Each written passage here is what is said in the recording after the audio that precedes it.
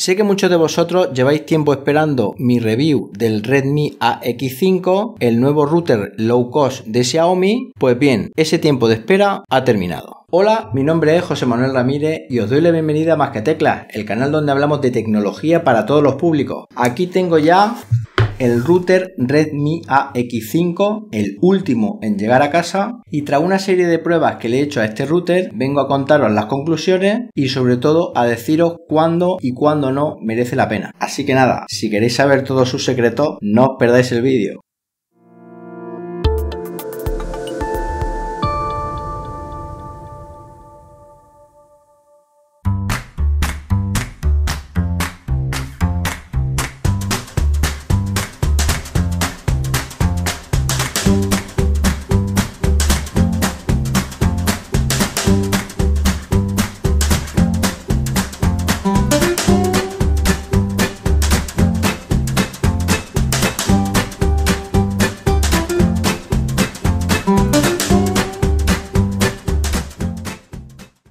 Bueno, ahora que ya habéis visto lo que nos vamos a encontrar dentro de la caja, os voy a hacer un pequeño tour sobre cómo es físicamente este router Redmi AX5. Toda la parte de arriba del Redmi es una rejilla que va a permitir una ventilación muy buena, cosa que es muy necesaria en este tipo de routers. También en la parte de arriba nos encontramos dos luces LED que nos van a indicar el estado del router y el estado de nuestra conexión a internet. Dispone de cuatro antenas omnidireccionales, pero no son roscables, es decir, no podemos sustituirlas por unas más potentes.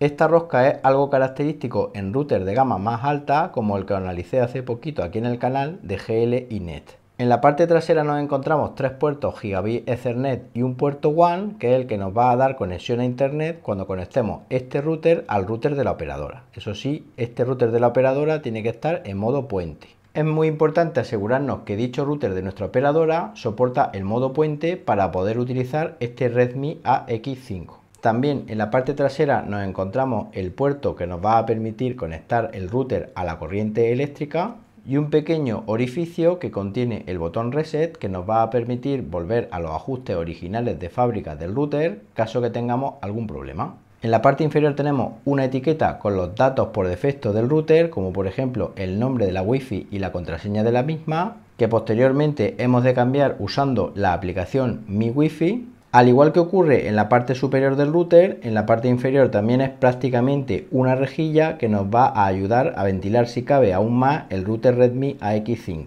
Disponemos de dos orificios por si queremos colgar el router a la pared Luego también tenemos cuatro patas de goma que nos van a permitir colocar el router en cualquier mueble sin arañarlo. Al igual que ocurre con los demás routers que he probado de Xiaomi aquí en el canal, este también es una versión china, con lo cual hemos de utilizar un adaptador a Unión Europea que viene incluido en el paquete.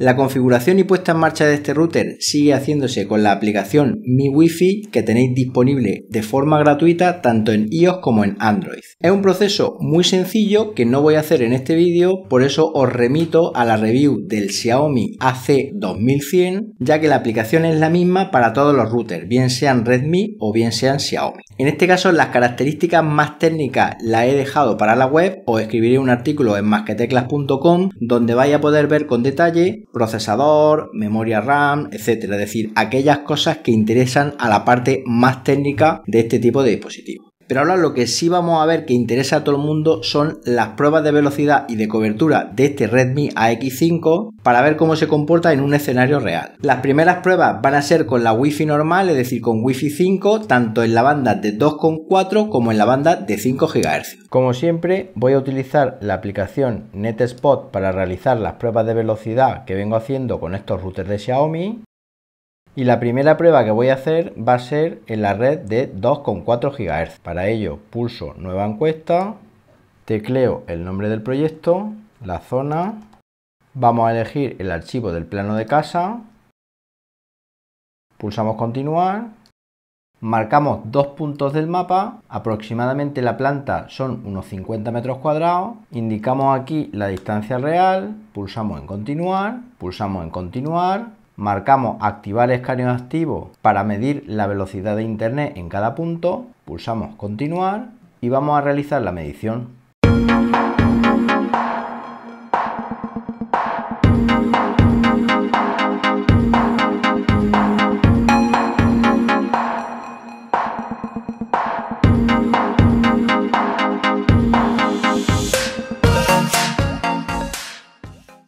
Una vez que hemos realizado la medición en la red de 2,4 GHz, como podemos apreciar, es una cobertura bastante homogénea, prácticamente tenemos cobertura en toda la planta, pero eso sí, la velocidad oscila entre los 117 megabits por segundo que nos encontramos justo al lado del router hasta los 43 megabits por segundo que nos encontramos en la parte más alejada del mismo. Ahora vamos a realizar la prueba en la red de 5 GHz. Repetimos el proceso. Vamos a realizar la medición.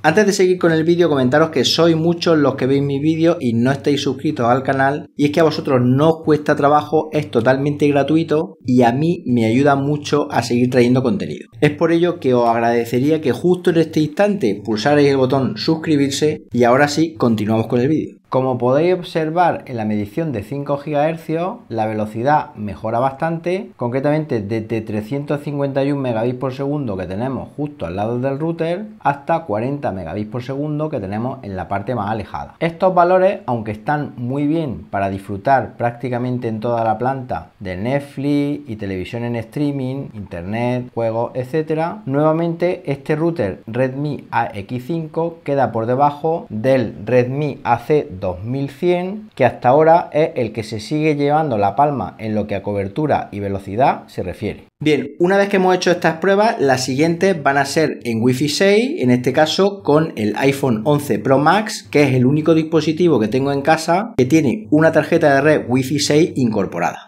La aplicación que voy a utilizar para realizar las mediciones se llama Wi-Fi Sweet Spot, la tenéis disponible en iOS, es totalmente gratuita y os dejaré el enlace en las notas del vídeo. Voy a desplazarme con el móvil haciendo el mismo recorrido que hacía en las mediciones anteriores, habitación por habitación, y vamos a realizar medidas para que veáis qué velocidades vamos alcanzando en cada una de las habitaciones.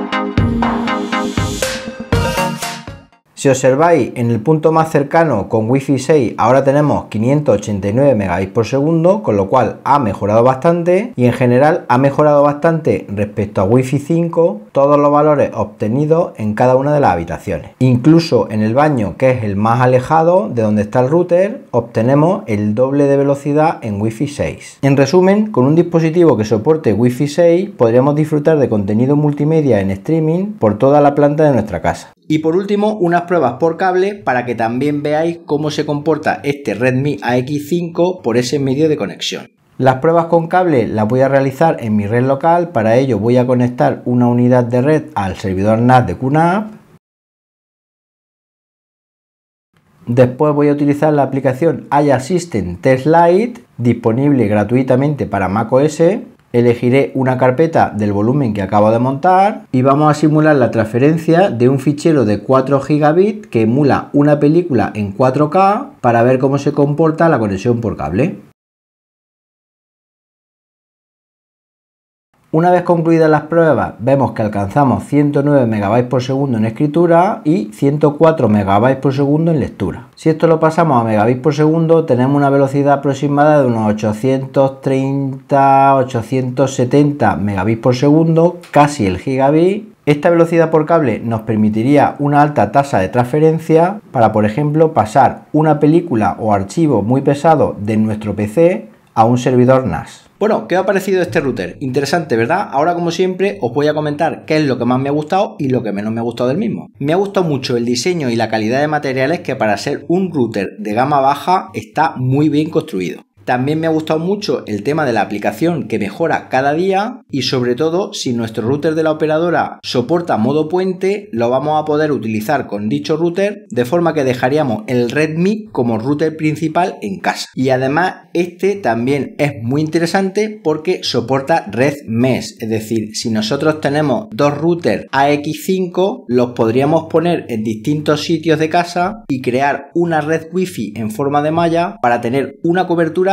todavía mucho mejor. ¿Qué es lo que menos me gusta de este router? Pues lo primero que la interfaz web utilizada para configurar el router siga estando en chino y no hayan ni siquiera todavía añadido el idioma inglés aunque bueno, para eso está la aplicación, para solventarlo. Y otra cosa que no me ha gustado es que no tengamos una versión internacional de este router que venga con enchufe de la Unión Europea, aunque bien es verdad que en este caso la tienda te manda un adaptador. Bueno, y la pregunta del millón, ¿lo recomienda o no lo recomiendas? Bien, pues este router me ha gustado más que el Xiaomi AX1800, me parece un router más compacto, más pequeñito, más discreto, a pesar de que tenga estas cuatro antenas. También un router que nos va a dar una conexión de 400 500 megabits por segundo prácticamente en toda la planta, velocidad más que suficiente para consumir streaming de vídeo, streaming de audio, streaming de videojuegos, etc. Pero cuando es muy recomendable es cuando tenemos dos o más unidades de este Redmi AX5 y lo usamos en red mesh. Tened en cuenta que este router cuesta a día de hoy unos 42 euros, con lo cual por 80 euros tendríamos una red mesh en casa que además podríamos extender con un tercer o cuarto router en función de nuestras necesidades. Os voy a dejar en las notas del vídeo los enlaces de compra por si queréis haceros de uno. Y nada más, hasta aquí el vídeo review de este Redmi AX5, pero antes de que se me olvide comentaros que hay buenas noticias. Si tenemos un Xiaomi AX1800 con las actualizaciones del firmware que le han hecho tanto a ese como este, se pueden poner en red mesh aunque sean de distintos modelos. Es decir, podemos poner el Xiaomi AX1800 en red mesh con el Redmi AX5. Si sois muchos los interesados que queréis ver cómo se hace, escribírmelo en los comentarios y gustosamente haré un vídeo para vosotros. Y ahora sí, si os ha gustado el vídeo, dale a me gusta y suscribiros al canal marcando la campanita para que cuando haya un nuevo vídeo os llegue una notificación al teléfono móvil y nos vemos en un próximo vídeo. Hasta entonces, un saludo.